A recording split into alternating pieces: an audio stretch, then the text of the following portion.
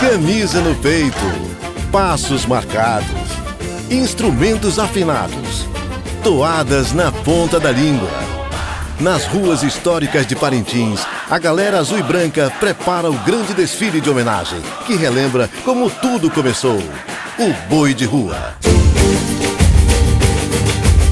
Foi ali dançando e brincando ao redor das fogueiras iluminadas pelas lamparinas do Lioca, levando versos e música às portas das casas de sua gente amiga, que Rock Cid fundou o Boi de Parintins em 1913, dando início a uma tradição que atravessou gerações, ultrapassou as fronteiras da ilha Tupinambarana e ganhou o mundo. Vindos de toda a cidade e até de fora, mais e mais torcedores vão se juntando à multidão, que segue a pé, puxada pela marujada de guerra. À frente, o boi que fez fama de inovador mostra que nunca abriu mão de suas raízes centenárias, brincando com a mesma paixão dos tempos do terreiro.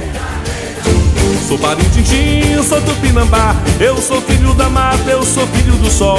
Nativo dos Andes, eu sou da floresta Sou boi bumbá, sou festa de boi, sou desse lugar. Tem peixe muquiado, tem o tacacá. Arraial, pastorinha e o boi caprichoso